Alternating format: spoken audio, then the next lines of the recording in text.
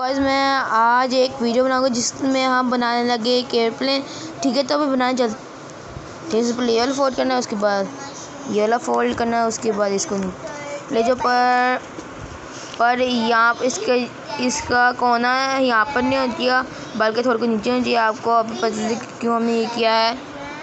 मैंने वहाँ पे करा था, ठीक है, दोनों से, दोनों साइड से, ठीक है। अब हमें यहाँ यहाँ से पकड़ के इसको यहाँ ऊपर करना है।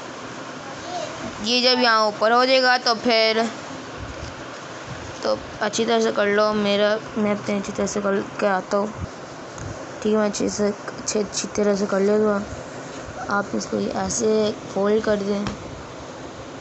आप, ऐसे था ना आप, ऐसे था आपका। पर आप इसको ना ऐसे कर दें, उसके पास फोल्ड लगा दें। वो ऊपर पकड़ के ऐसे कर दें। दूसरी साइड से भी। मैं दोनों साइड से कर लिया है। अब आपका एयरप्लेन तैयार हो गया। अब ये जाने के लिए तैयार है और आए। और ये ये बड़ा अच्छा एयरप्लेन है।